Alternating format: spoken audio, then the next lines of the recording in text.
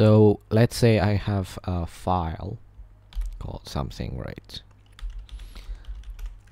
And I want to check if the file is actually a .png file or something right? A .jpeg an image file right? Um, how do I do that? Well in bash you can do something like if right um, I think it's this. I've, I kind of forgot if whether it's this or that. Maybe it's this because it's like that in Perl but png and if uh, it returns true it's gonna echo true right? I forgot the dot. Okay. So it's true right? And if I have like it's if I have like non.png it's gonna echo false. But that's a that's a bashism right? Uh, if you want to make it uh, portable to if you want to use it in a binsh, you cannot do that. So how, how do we do that in binsh? well let's actually make um, file here.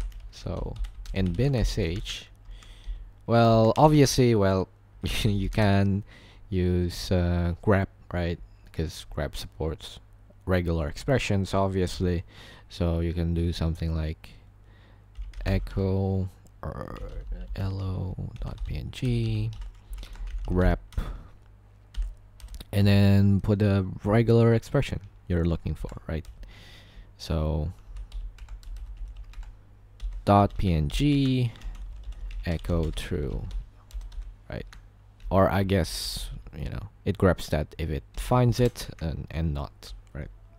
And you know if you you want if you don't really want to um, echo or you know print the thing found you can just use grepq right? Or you know redirect it to dev null or something right? So that works but uh, that's not really you know that's kind of unnecessary a bit right? There's a more built-in way to do that uh, although it's not as it's not actually regex I think. It's like a wildcard it's a different thing which is to say it isn't as uh, complete I guess as a regex but you can do something like uh, make a switch and then you can say dot png and dot jpeg right? And then if uh, doesn't match either you can just you know exit one and like I guess um, echo uh, not an image file or something right? But you, you you can't do like complex things like uh, I don't know like this and and you know I don't know. Alnum or something right? Because it's not actually but it doesn't actually support uh, regex it's uh, it's like a different thing right? It just supports uh, the uh, asterisk and like I think a question mark word but again it's actually built in to the shell itself so it's like a in the shell executable there's actually a function for that or you know it doesn't actually call another uh, C executable like grep, right? But if you if you want to actually regex match, there's another thing you can use expr. So let's look at expr, right?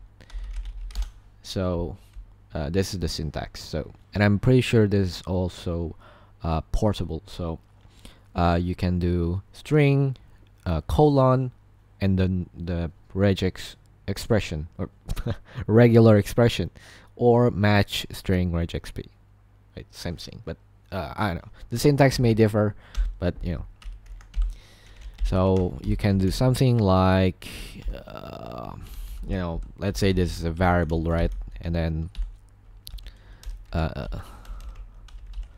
dot png and it, it's gonna print apparently the uh, number of matched uh, characters right? So this is gonna echo true. And if I have like it's it's not it's gonna like echo uh, not echo right? and you know again if you don't want the print uh, you can do dev null redirect it to dev null right? So yeah uh, those are the the ways to uh, use kind of regex in the shell. Expr if we uh, check here it is not a built-in function. So that's one of the downsides but it is probably faster than grep because grep is kind of a complicated program right? Whereas expr this is what it's actually made for. It's for uh, checking uh, it's for string matching or something right